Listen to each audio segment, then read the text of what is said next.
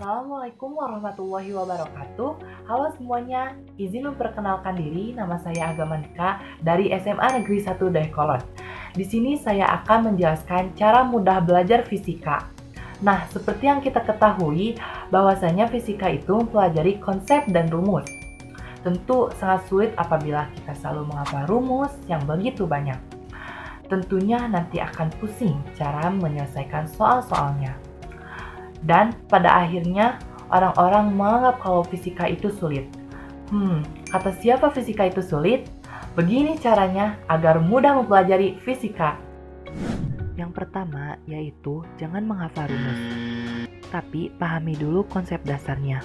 Nah, bagaimana sih rumus ini asalnya? Lalu buatlah rangkumannya menggunakan bahasa sendiri. Yang kedua, belajar menggunakan media video. Kita bisa memanfaatkan YouTube atau aplikasi pembelajaran lainnya. Yang ketiga yaitu mencoba mengulas kembali materi. Kita bisa mengulas kembali materinya dengan cara menjelaskan kepada teman kita.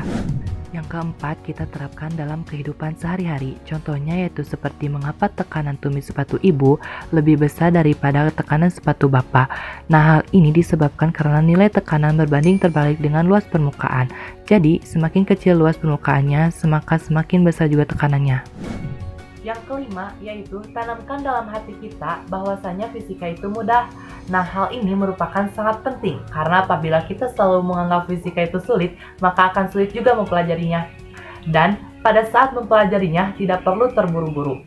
Nah, begitu cara mudah mempelajari fisika. Bagaimana? Mudah bukan? Kata siapa fisika itu sulit?